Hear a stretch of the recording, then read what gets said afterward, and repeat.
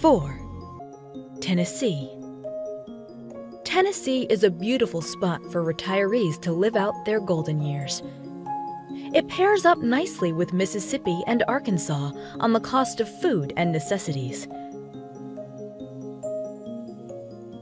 The residents faced a cost of living index of 89.7, a grocery index of 93.5, a housing index of 77.2, and a health index of 89.7. Tennessee is also one of the few states that doesn't tax wages. Residents are able to keep more of their income, though there is a 6% Hall tax on investment interest and dividends.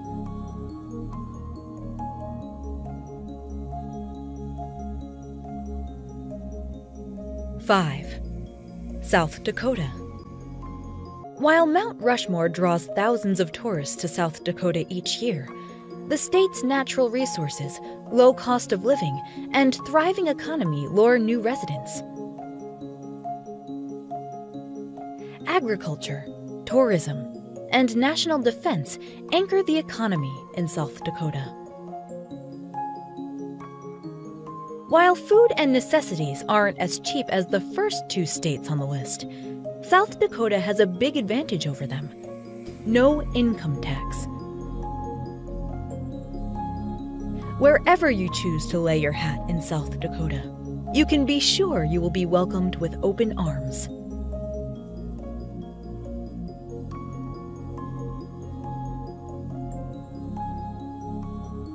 Six, Alabama. The cost of living in Alabama is almost 19% lower than the national average.